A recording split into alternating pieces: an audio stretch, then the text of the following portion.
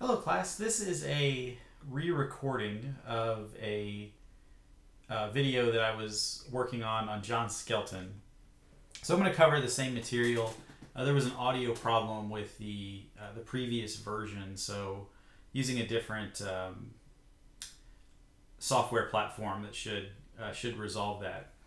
So uh, John Skelton was um, a poet laureate, and this was a title that was uh, bestowed at this time upon really anyone who uh, was a recipient of a higher degree. So he was a um, a professional, uh, in a sense, credentialed poet. Uh, graduated from Oxford in 1488. He was a court poet to Henry VII, and was later a tutor to Henry VIII, who uh, you may have heard of, of course. Um, he was known for having a number of wives. He was responsible for the Church of England breaking off uh, from the Catholic Church as well. And um, this, uh, I guess, schism within the church was is something that actually is a theme of this poem that I assigned uh, called Mannerly Margery Milk and Ale. It's a, it's a poem that's highly critical of clerical culture and um, few things uh, few things about it.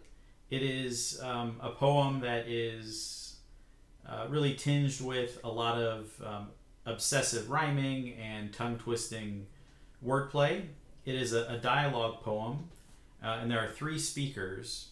So there is uh, Margery herself, and uh, James Foder, who's a, a cleric, and then a, a third speaker, uh, kind of an, an, observer, who is uh, seeing all this going on and um, and responding to it. Now, um, the refrain is where you'll find that um, that third speaker, and James Foder is the speaker in lines 4, 8, 9, 17, and 22 to 24 and you can tell just by you know those those numbers that the poem jumps back and forth quite a bit, and uh, it is Margery who um, who dominates the conversation, and some of James's uh, reactions and, and, actions are uh, implied by her by her dialogue. So this is um, a criticism that Skelton's lev- leveraging on these young cl- clergymen. They're supposed to be celibate.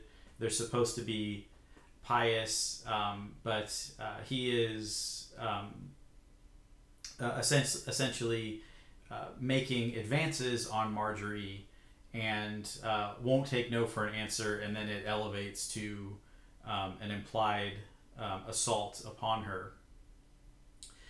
This um, the poem itself is uh, like I said, targeting um, Christianity. Um, it also is um, somewhat sexist in its portrayal of of Margery. Her um, some of her airs and graces are kind of mocking, mockingly chanted in each of the each of the refrains, so that um, the the phrase of her being mannerly is is somewhat um, being used ironically and um, so she's being depicted as uh, kind of a tease, and from a modern a modern perspective, I think we certainly would find that that depiction of her um, distasteful, but it's very much reflecting the um, the outlook at, at the at the time, and something that unfortunately is you know still with us today, where um, there's a kind of blame the victim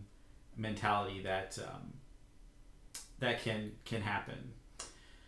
So there um, is a, another layer to this where Skelton himself was a um, he was a poet. He was also a priest.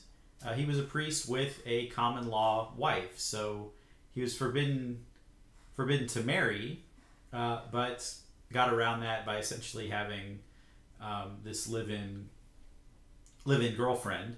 And um, the reference at the end of the poem where Margery says she will die for thought um, suggests a kind of thought thoughtlessness of male behavior, thoughtlessness of the law, where um, she faces poverty, uh, prostitution, and maybe even uh, maybe even death. And as I, I do my close reading, I'll, I'll talk about I'll talk about that. So um, okay, so the poem itself uh, is broken up into four stanzas, and you can um, you can call it open in another window and uh, kind of read read along with what I'm doing here. Uh, she says, "I beshrew you by my fay. Uh, fay means faith. These wanton clerks be nice alway. Uh, these wanton clerks are always nice, which he's stating um, ironically because they're not they're not nice. Avaunt, avaunt, my popinjay. Um, what will ye do nothing but play? Tilly, uh, valley, straw, let be, I say. And then here's the refrain Gup, Christian clout, gup, Jack of the Vale, with Mannerly Margery, milk and ale. So he's making these advances on her. She is trying to um, shoo him away. And uh, and as I mentioned earlier, um, as far as the the jumping back and forth, we're not given uh, a lot of signals of that. But line four is apparently James. What will ye do nothing but play?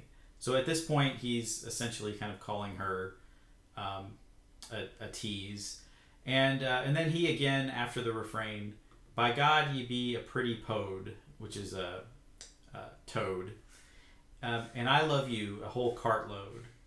Straw James Foder, ye play the fode.